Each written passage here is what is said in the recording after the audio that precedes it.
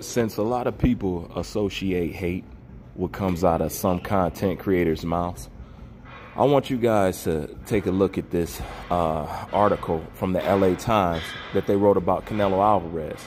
Keep in mind, the person that wrote this article is Latino, you know, so I'm just wondering is any hate going to be pushed down his way? But in the meantime, listen to this article and you will see the same shit that I have said will be said here. You will hear people not pleased with what they see with Canelo and how most of the time his fights are considered a joke. But don't take my word for it. This is the LA Times from a Latino. Canelo Alvarez had a chance to elevate his ambitions, and it's gone Canelo Alvarez, standing in the ring with a Mexican flag behind him, lifts a fist to make a muscle. Four-division champion Canelo Alvarez made his long-awaited return to the ring Saturday, defeating Callum Smith by unanimous decision over 12 rounds at the Alamodome in San Antonio, John Locker slash Associated Press, by Dylan Hernandez columnist December 20, 2020, 7.43 a.m. Championship boxing match, glorified sparring session, whatever that was, it resembled the afternoon feeding of the red-bellied piranhas at the Los Angeles Zoo. Canelo Alvarez walked down and whacked around a defenseless man for 12 rounds on Saturday night, each thudding blow he landed destroying the delusions of Callum Smith that were manufactured by a British sports scene that overrates its soccer players and really, really overrates its fighters. Rather than elevate Alvarez, the lopsided decision victory confirmed what was already obvious before the opening bell sounded, advertisement Alvarez blew it. He once had a worthy adversary in Gennady Golovkin. They had two close fights that could have been scored either way. But instead of stepping into the ring with Golovkin for a third time, Alvarez argued the favorable jury verdict of the second fight served as the final word. No athletes are judged more by singular moments than boxers. They are defined by how they confront their greatest obstacles and respond to their most intense crises. Perhaps Alvarez didn't realize it at the time, but his rivalry against Golovkin hung on that moment. When Alvarez elected to move on and take on the likes of Daniel Jacobs and Sergey Kovalev, the moment vanished. Now, there's nothing he can do to recapture it, not even fighting Golovkin again. December 19, 2020, San Antonio, TX, Canelo Alvarez and Callum Smith. Sports Canelo Alvarez dominates Callum Smith to win by unanimous decision December 19, 2020 advertisement Alvarez has the enthusiastic backing of the boxing industrial complex, which has taken to overstating his abilities in an effort to prop up its dead sport. But history will view him more objectively. Time has a sobering effect on perception. As it was, whatever he did against Golovkin was always destined to be diminished. Alvarez waited until Golovkin was 35 to agree to their first fight, which ended in a draw. The initially scheduled rematch was called off because Alvarez tested positive for a performance-enhancing drug. As the sport's number one attraction, Alvarez was convinced Golovkin needed him more than he needed Golovkin. From a financial perspective, that was true. But in terms of his legacy, Alvarez also needed Golovkin. Advertisement The 30-year-old Mexican now finds himself without the potential adversary who could help him realize his ambitions. He talks about wanting to make history but has no way to make it. He promises to make fights the public wants to see, but the average sports fan has never heard of any of his prospective opponents other than Golovkin.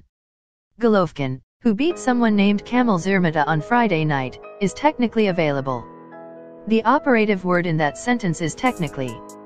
Golovkin is now 38, and he looked 38 against Szeremeta, which is probably why Alvarez is suddenly open to fighting him. Advertisement Alvarez and Golovkin could still pack an arena, but, in this case too, history will eventually see the spectacle for what it is, a fighter in his prime beating up on an old man. Alvarez's other options will produce more mismatches like the one in which he battered Smith, who on paper looked like a reasonable opponent. Smith was the 168-pound champion of one of boxing's credibility-challenged sanctioning bodies. Alvarez defeated Kovalev at 175 pounds but was known as a 160-pounder. Smith stands 6 foot 3, which is tall even for a super middleweight. Advertisement of course, anyone with a rudimentary understanding of boxing who watched tape of Smith could tell he stood no chance. He threw straight punches and had a sneaky right hand but was slow and robotic. Alvarez, although 7 inches shorter than Smith, immediately started out-jabbing him. Alvarez worked at a measured pace but nonetheless battered Smith around the ring. This was an unmitigated disaster. DAZN, the streaming service that broadcast the fight, had promoted this as a serious challenge for Alvarez. If Smith was one of the better options available, that doesn't speak well of the sports talent pool. As much as the network's propagandist announcers tried to portray the blowout as a byproduct of Alvarez's brilliance, the knowledgeable fans who watched this debacle will be less enthusiastic the next time Alvarez takes on another relatively unknown fighter, assuming they watch at all. It would have been one thing if Alvarez had already defeated Golovkin convincingly in a third fight and secured his place as the unquestionable top fighter of his generation. These fights could have been sold as a legend's ride into the sunset.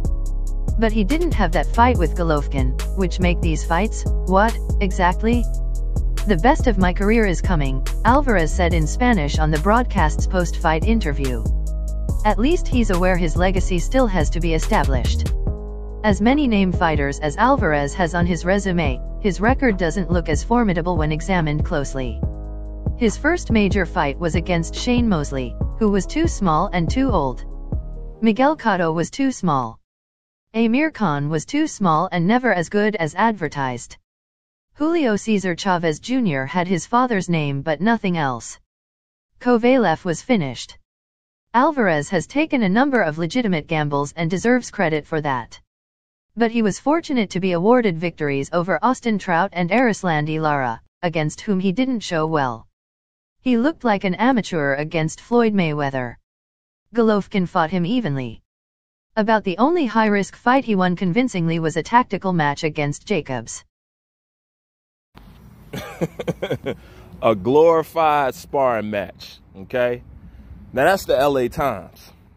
Okay, so what do we just prove right here? Number one, we just debunked some of these Canelo fans going around here saying that, you know, the stuff that people saying about Canelo is because of somebody's color as you've seen from the articles that I posted up in this video and in other videos, it's worldwide with Canelo. They just trying to make you think that it's something personal, okay? Canelo has been criticized by Mexican legends, boxers, trainers, fans, and everybody, okay? Glorified sparring match. He said if you really take a close look at um, Canelo's resume, you see that it's some constructed, fictitious bullshit. Like I said, I once was a Canelo fan and I fell for this shit. Then I actually started listening to people and I actually started paying attention. I actually started looking, seeing what's actually going on. I actually started studying what he was actually doing. And then my eyes was open and I ain't looked back since. So, you know what I'm saying? You guys can get an attitude, but at the end of the day, facts is facts.